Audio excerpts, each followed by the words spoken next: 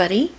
It's the Soap Peasant here with episode two in the Emotion Soap series. Uh, once again, I want to say thank you to fellow YouTube channels uh, Surviving Narcissism, Dr. Todd Grande, and Dr. Ramani for such great information about identifying this personality in others. What makes it so difficult is they're very good at lying and hiding, and it can make you doubt your own reality.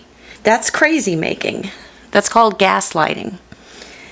You can even catch them in a lie, and they will turn it around to make you believe that you didn't see what you saw, you didn't hear what you heard, or know what you know to be the truth. They're undercover control freaks, basically, that hide in the shadows and look for people that have soft hearts and nothing but goodwill, and they feed off that. So let's shine some light, some light of truth, on this dirty tricks personality trait. And so here is my interpretation of the covert narcissist. We'll begin with rather a toxic color base. They have a, a poor self-image and very low self-esteem and yet outrageous cockiness, even when they're clearly in the wrong. Let's lay down a rocky bottom to this soap to represent their past. They most likely have past relationship problems. Uh, they dislike their coworkers. Uh, somebody that's done them wrong according to them. They're always blameless. Uh, but they oftentimes have problems dealing with other people, especially in relationships, often at work.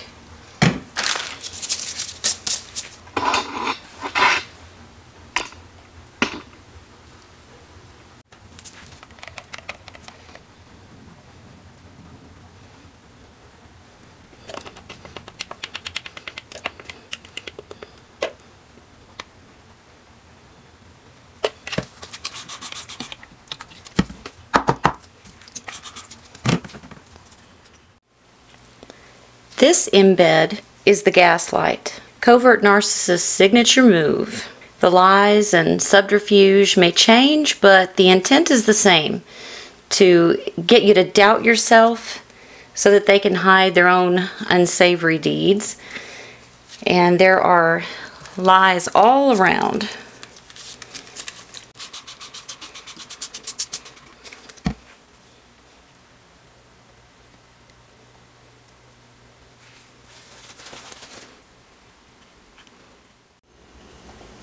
Oftentimes, you can sense trouble building. You can see it coming, but they'll insist they're fine and it must be you. We'll add the storm clouds now.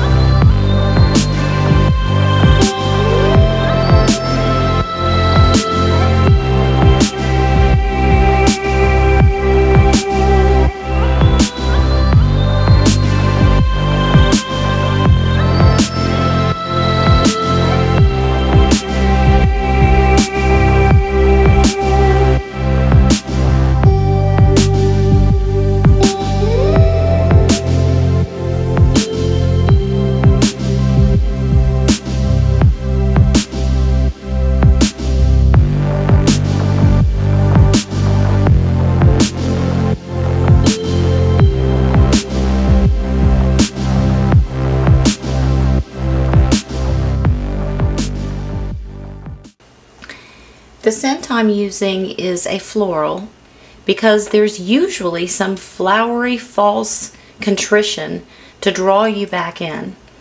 It's just another tactic to control the narrative of Mr. or Mrs. Nice Guy. Don't fall for it because you won't win.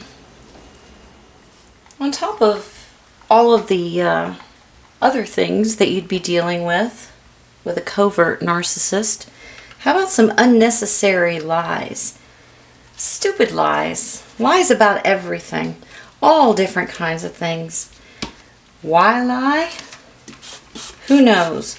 You'll never find out. But they will. They will lie about the the dumbest, smallest things that that don't make any difference at all. That's just conversational. And of course, asking questions is completely out of order. None of your business. It's quite an offense to ask any questions. But they'll lie about silly things like they'll say they're going to go to the store and, and get a couple of things. And then they're gone for three hours. And you say, Gosh, I was getting worried about you. Where'd you go besides the store? They'll say, uh, I don't know. I don't remember. I wasn't anywhere. I went to the store. Why are you asking me all these questions? What were you doing while I was at the store? And you're just going, they. But that's the way it works. Because they will just lie about the silliest things. What'd you have for lunch? And they'll lie about it. And you know good and well that they're lying. But that's just part of the whole deal. So here's a bunch of unnecessary, stupid lies. To top it off, how about some murky excuses? That's what we got right here. We got some some murky excuses.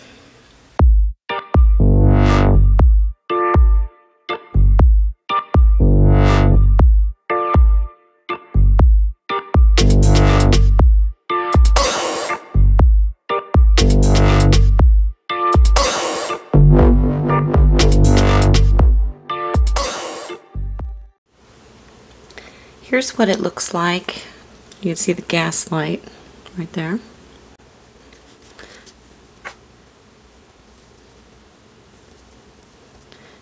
And here's the bottom with that rocky past.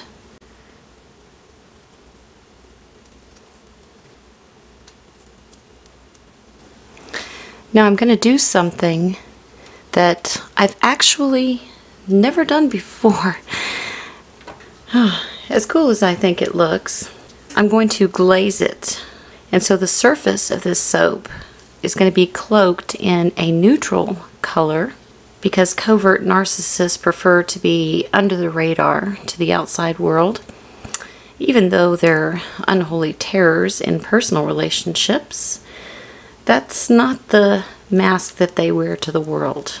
So they want to be incognito until you take the job. And then you find out or you get involved in a relationship and then you find out it's keeping it hidden until the right time. So let's get this thing glazed see how it works out. And here we go with the neutral disguising glaze so that you can't see what's underneath. By the way I've never done this before so it's you and me against the world of soap. Mm -hmm.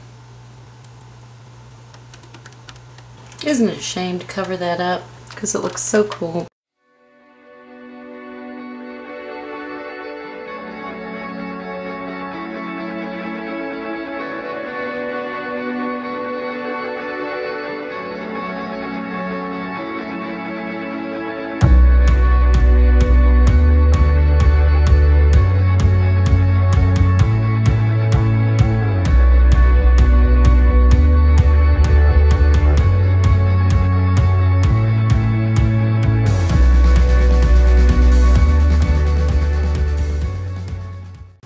Looks like a bit of a mess before we get it cut up, doesn't it?